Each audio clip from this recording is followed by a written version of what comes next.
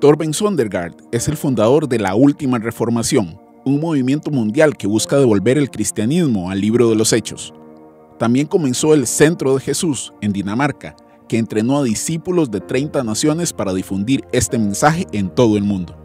Pero Torben y su familia huyeron de Dinamarca este año como refugiados que huían de una zona de guerra y se fueron con solo lo que podían llevar en ocho maletas.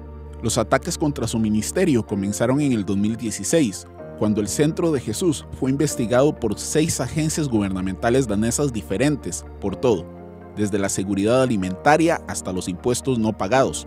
Los funcionarios no encontraron nada malo. Luego, el año pasado, el gobierno comenzó a investigar a su familia cuando sus hijos comenzaron a estudiar en casa. Luego volvieron a poner a su hija en la escuela pública, pero eso no detuvo las investigaciones. La vida y el ministerio de Torben Sondergaard darían un giro dramático cuando la televisión danesa se le acercara y le dijera que querían perfilar su ministerio. Parecía que podría ser muy positivo, pero no lo fue. La televisión danesa no solo envió un equipo de filmación, también envió a dos reporteros encubiertos al ministerio de Torben, uno que dijo que quería seguir a Jesús e incluso fue bautizado, y otro que fingió estar mentalmente enfermo. El documental resultante en la televisión nacional llamado Los mejores hijos de Dios reunió a Torben con otros ministerios llamados cristianos radicales, que habían tenido serios fracasos morales o éticos o incluso actividad criminal. Cuando vi estaba como, todo acabó, nadie volverá a confiar en mí. Torben observó con horror cómo se veía a sí mismo representado en la televisión nacional como un mentiroso, como un abusador de niños e inestabilizador mental, a través de curaciones y los llamados exorcismos, y como un curandero que le quita la medicina a los enfermos, algo que dice él que nunca lo ha hecho. He estado haciendo mi ministerio durante 18 años. Nunca tuve problemas, nunca tuve quejas. Por supuesto, hubo malentendidos.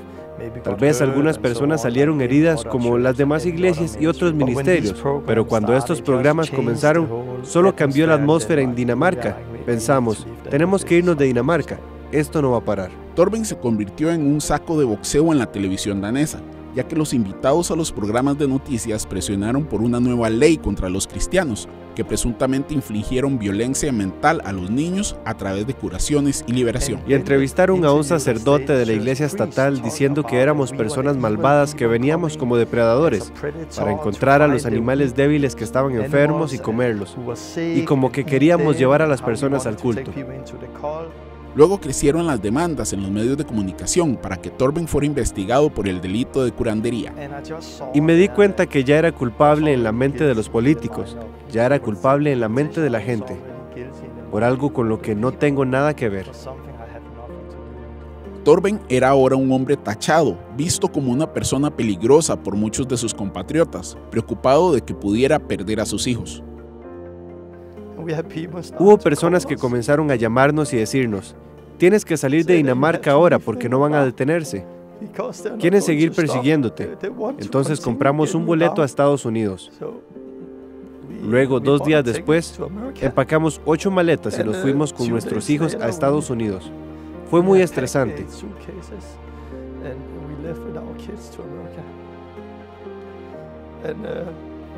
Y ahora nuestro centro de Jesús está cerrado. El centro de 80.000 pies cuadrados en Dinamarca está cerrado. Nuestro trabajo está cerrado. Todo está cerrado. Los Sondergaard han apelado al gobierno de los Estados Unidos para solicitar asilo político. Torben ha testificado en una declaración jurada que si es devuelto a Dinamarca, corre el peligro de ser encarcelado y que su hija menor sería retirada de su familia. La agencia de prensa danesa dictaminó que Torben fue engañado por los periodistas que hicieron el documental, pero no hay ninguna agencia gubernamental en Dinamarca que pueda devolverle la reputación a Torben o garantizar su libertad si regresa. Torben ahora espera para ver si su solicitud de asilo será aprobada y dice que sueña con comenzar un centro de Jesús como el de Dinamarca en Estados Unidos. También tengo un mensaje para la gente en Estados Unidos, que necesitamos estar preparados, necesitamos estar alertas. Decir que esto nunca sucederá en Estados Unidos es una mentira. He dicho lo mismo en Dinamarca. Esto va a ocurrir en Estados Unidos. Dale Hurt, CBN News.